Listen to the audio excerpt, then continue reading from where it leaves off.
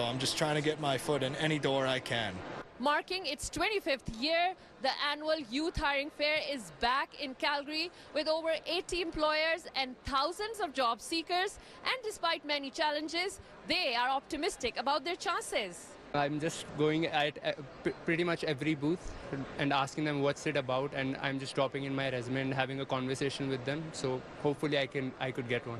Definitely for younger people, it's more difficult because we have less experience and we're trying to start up in that department. I have applied around 100 jobs in the last two months or so.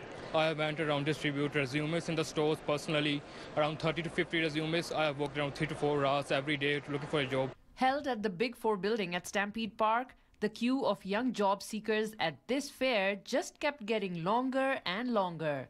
The Youth Hiring Fair is an initiative of the City of Calgary's Youth Employment Centre for those aged 15 to 24.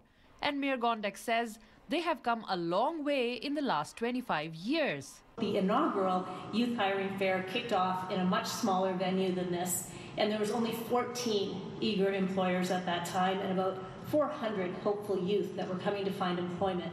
And consider the fact that over the years, 1,900 employers have connected with about 92,000 young people. Often juggling school and work, young people are often looking for slightly different things in a job. It's that time in my life right now where I'm like, you know, school and getting a job. It's like I think time to really get out there. I'm looking for my first job and some job experience. Oh, it's really tricky right now. Like I've had four different jobs in the last five years and, you know, just trying to find a new job. My main focus is summer job because, you know, we're really busy with school. But yeah, summer job, gaining experience, getting an entry into the workforce. For those who couldn't make it to the fair, Calgary's Youth Employment Centre offers free career services and connections with employers all year round. In Calgary, Henna Saeed, City News.